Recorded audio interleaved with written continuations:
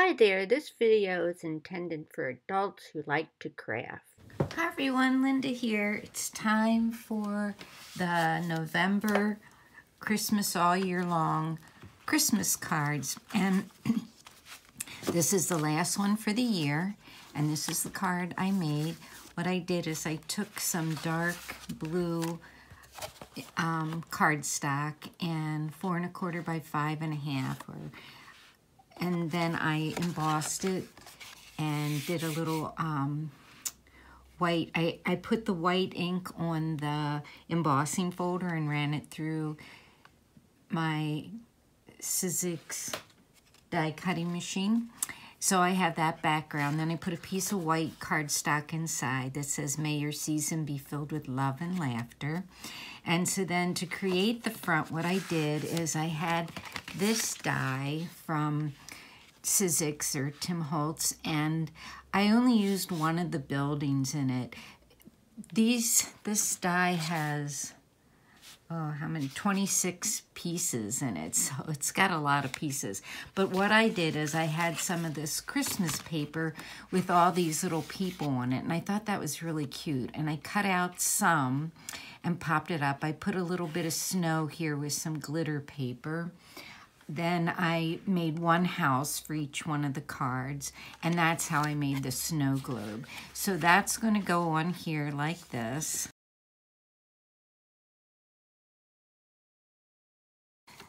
So there, that goes like that. And then I have a little Christmas tree. And the Christmas tree, I cut out two of them, and I don't have the die sitting out here now because I did make this quite a while ago. So I just got to decide where I want to put it. I think I'll put this one on this side because there's a little guy there. So, and um, this The back one is cut out of this paper that I got at that garage sale a long time ago. That's a sticky back paper, so I just have to peel that off if I can. And here is the place. There we go.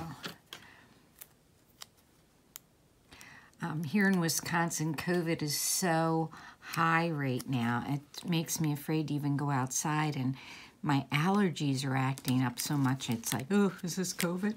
So this is just a crazy year. I'll be happy to see it go.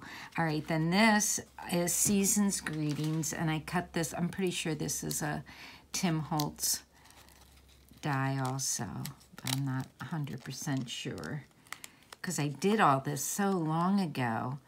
Got it, you know, on one of those days when there wasn't anything to do or I don't know, I just made a whole bunch of Christmas cards and I tried to leave one sample undone so I could finish it. So the seasons is going to go over here. It's all nice and sparkly.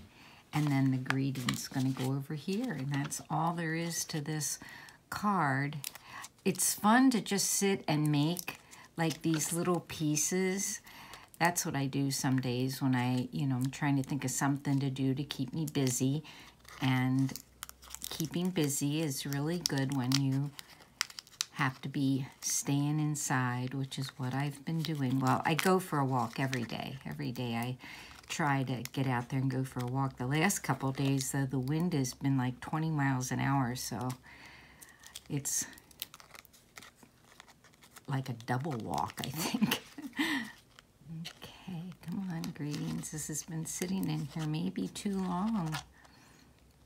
But the sun is shining. It's beautiful. The river doesn't have white caps today, so maybe the walk won't be as hard.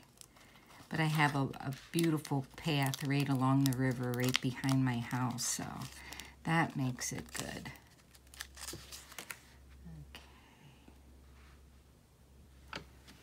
So we want greetings right along here. And this is that two-sided tape that I use. I put it behind the glitter paper and then I cut it out. Let's see, is there an eye here? Or is there a dot for the eye? Yeah, I don't know if it's gonna come out though. That's good. It's good. So that's the card.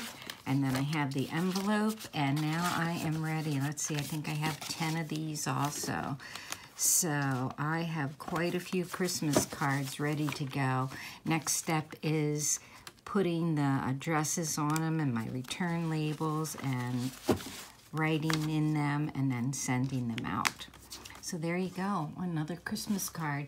So I probably won't post any more card. Well, I might post one in December for January because I'll start again.